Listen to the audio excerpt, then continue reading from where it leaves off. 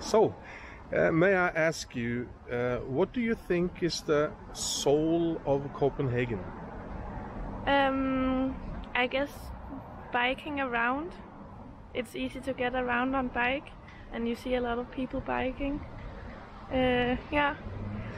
Is there a, s- I see different kinds of bikes and bikes I've never seen before? Are, are there a sp- particular uh, type you're thinking of?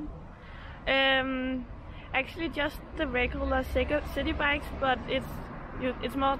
It's also common, sorry, uh, to see people on the bigger Christiania bikes where you can have a, have a lot of stuff with you, and then you don't need a car when living in the city, and yeah.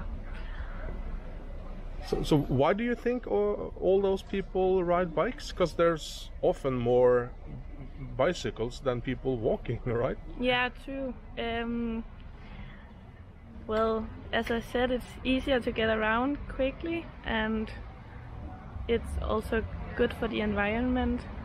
So more people choose it now, but it has always been a thing around in Copenhagen to bike a lot. And- Um, And I see they have hand signals. Yes, they- you put up your hand when stopping. Yeah. Al- also that. and yeah. also when you're turning. and when you're turning. Yeah. yeah, yeah, Yeah. Yeah.